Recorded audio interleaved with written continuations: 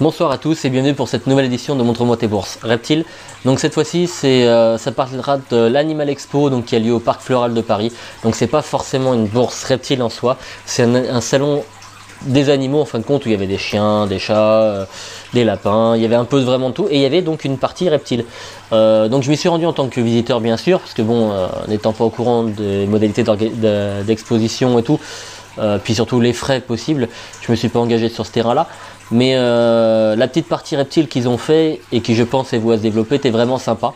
Euh, j'ai pu nouer quelques contacts sympas mais dans d'autres salles, euh, notamment vers les, chats où, j'ai pu rencontrer donc les, les, fondateurs de pabet.com, donc qui est un, site de garde d'animaux entre particuliers en fin de compte qui, rejoint un peu ce que je fais sur le groupe Léo Tortue Vente Échange Spécial Tortue.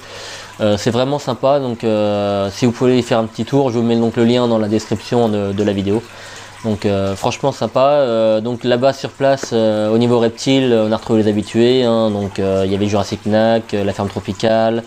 Il y avait un petit peu tout le monde, et même l'Africa, donc je m'attendais pas à voir là-bas. Donc l'Africa, insecte comestible donc, que j'embête souvent avec leur, leur terrine qu'ils proposent pas en expo, qui font forcément malheur.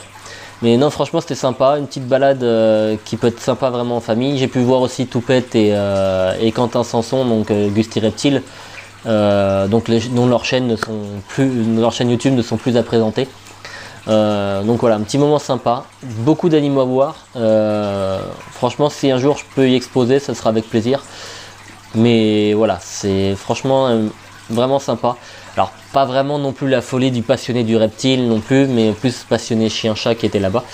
Mais un petit moment sympa à voir. il y a de quoi manger donc tranquillement avec leur restauration. Euh, et en même temps, au pire, pique-niquer dans le parc floral de Paris est tout à fait possible euh, au niveau de, Vincennes, donc c'était vraiment sympa. Et c'est assez proche également du, parc zoologique de Vincennes, donc ce qui fait que on peut faire la matinée là-bas et l'après-midi au parc zoologique. Vraiment, c'est un bon emplacement, très sympa et beaucoup de rencontres. Voilà, donc on se retrouve pour un prochain numéro. Salut